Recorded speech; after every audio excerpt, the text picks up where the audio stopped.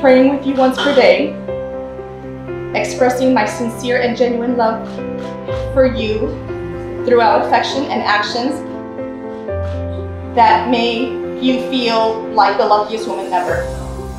Kisses, hugs, flowers, lots of smiles. I will trust everything you do or say is in the best interest of our relationship as it nears God and the church. I will love you as you are.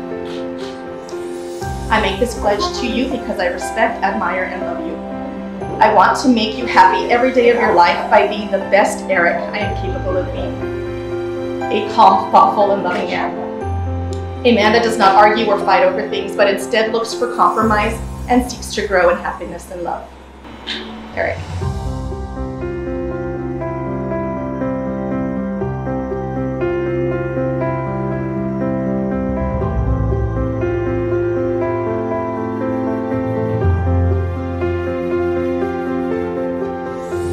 I, Erick, take you, Jennifer, I, Jennifer, take you, Erick, to be my wife, to be my husband.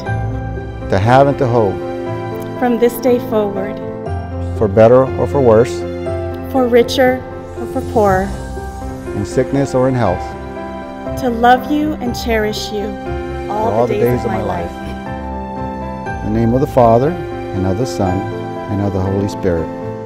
In the name of the Father, and of the Son, the Holy Spirit. May I present to you with honor Mr. and Mrs. Erick Acero.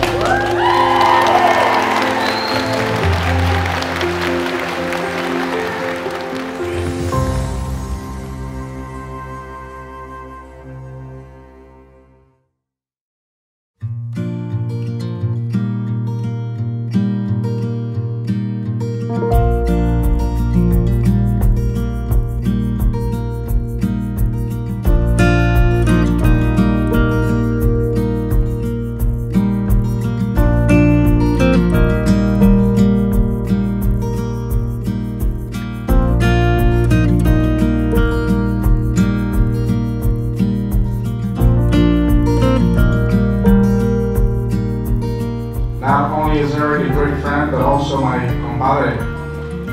This year, leading up to this moment, has made it clear that you are my forever friend. I was the first to find out about Jennifer. It was quite funny in a good way to hear how he was acting towards someone. It was almost like a teenager having feelings and possibly falling in love for the first time.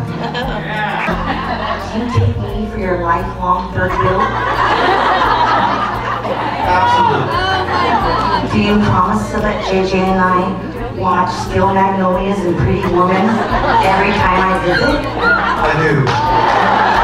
And do you promise to let us go to Jack in the Box for hamburgers with secret sauce and pickles? Absolutely. It's a perfect match, then.